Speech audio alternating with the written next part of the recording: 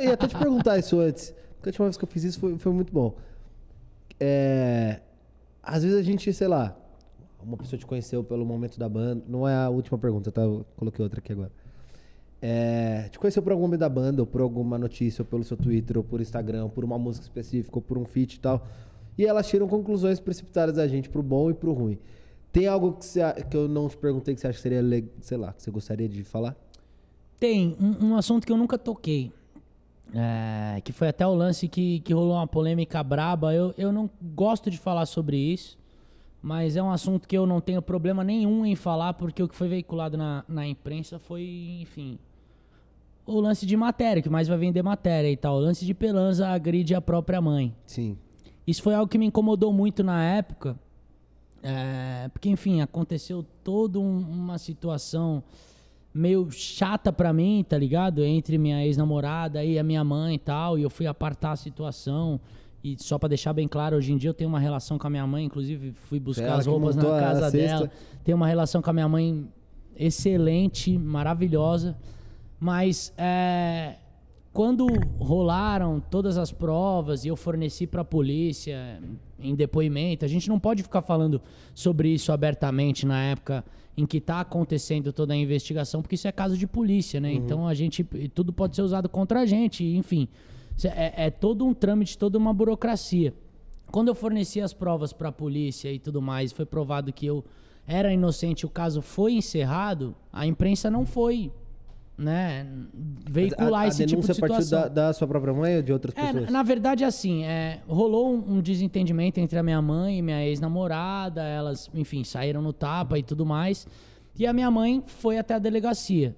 A partir do momento que ela foi até a delegacia, o, o delegado perguntou, ah, o seu filho estava envolvido? Sim, ele estava em casa, tal. Então ele falou, é, rola a lei, na Maria da Penha eu sou obrigado a incluir ele porque a lei acontece aqui no Brasil, tem a lei para dar o respaldo à mulher. Como ele é um homem, ele estava presente, eu sou obrigado a incluir ele. Aí ela falou: "Ah, tal, não sei o quê, tudo bem". Pelo que minha mãe disse, eu não estava com ela no momento, mas tal, não quero que sugere problema e tudo mais. E aí aconteceu que deu tudo que deu, né? Você entrou a imprensa... pra separar a briga. É, eu, eu fui, prestei esclarecimento, só que no dia que eu fui prestar esclarecimento já estava em todas as manchetes de todos os lugares, tá ligado? E eu voltando do Rio de Janeiro, que eu tava fazendo um show, voltei de carro. E, porra, quando eu parei o carro na delegacia, já a câmera dentro do meu carro, um bagulho invasivo, tá ligado? E é o que eu falo, eu, eu já, já criei muitas polêmicas, assim, mas algumas eu não gosto, as pessoas até ficam me perguntando, por que, que você não explica mais sobre essa situação? Eu falo, porque é uma situação que deveria ter ficado no seio familiar, tá ligado? É uma situação que não deveria ter tomado a vitrine que tomou, eu me resolvi com a minha mãe enfim, eu não, eu não gosto de falar sobre esse assunto. Eu, eu gosto de falar sobre música, sobre a minha Sim. carreira tal e tudo mais. E aí é só uma situação que me incomoda um pouco, porque muitas pessoas, é, até hoje, enfim, ah, pô, fiz a, a, entrevista aqui com você, Lucas, tal. Aí as pessoas vêm no comentário do vídeo no YouTube, ah, pô, chamou esse imbecil que bateu na mãe. E não, cara, olhando para a câmera abertamente, eu não bati na minha mãe, eu fui inocentado, o processo nem existe mais, ele foi extinto. E é só um lance que me chateia porque as pessoas elas são acostumadas a ouvir o que convém, o que a imprensa veicula. E a imprensa, o que, que ela vai querer? Não é nem por maldade, ela quer dinheiro, quer vender notícia. Então, quando rolou essa situação de eu ser inocentado, a imprensa não foi incisiva da mesma maneira que ela foi para me condenar, ela foi para me inocentar.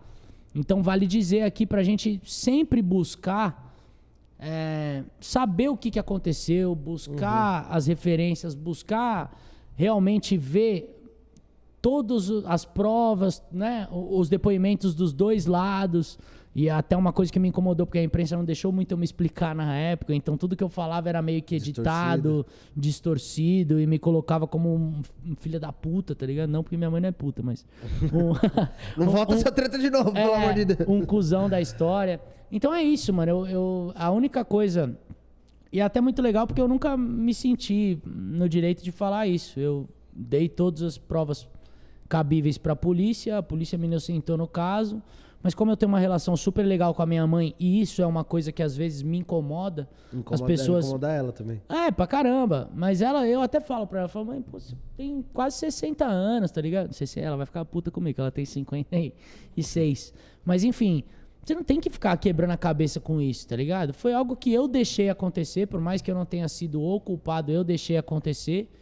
E eu carrego essa culpa, não tem problema. Se eu fui homem para deixar tudo isso tomar a vitrine que tomou, também sou homem para me justificar. Só que as pessoas, às vezes, elas são muito. Teve até um cara que me respondeu, velho, recentemente, falando: Meu amigo, se tá na internet é porque é verdade. Eu, puta, eu, eu postei ainda aquele emoji com a, com a mão aqui, tá ligado? Na cara de falar, mano, esse é um dos alienados que vive na internet e que acha que tudo que é postado na internet é verdade. Esse é um dos negacionistas que a gente tem nesse país. Por exemplo, um país que elegeu um presidente pelo Facebook. Sim. Tá ligado? Isso é inédito no mundo. Tá ligado? Mas enfim, é. É isso. Só pra explicar mesmo, como você falou de algum assunto que não teria tocado. Sim. E a gente tava lavando roupa suja falando de eu polêmica. queria É a primeira eu vez que eu perguntar falo. porque eu não sabia o quanto te incomodaria. A gente teve Não, um bicho, eu puta não, papo eu não, legal sobre eu não tenho problema nenhum em falar sobre isso. Se vocês forem até buscar o inquérito, eu já algumas vezes me irritei muito com algumas postou. piadas e postei o inquérito policial encerrado. É, mas se forem buscar, se procurarem no meu nome, vocês vão ver que, que eu fui inocentado, que o caso foi, foi encerrado e que não tem nada.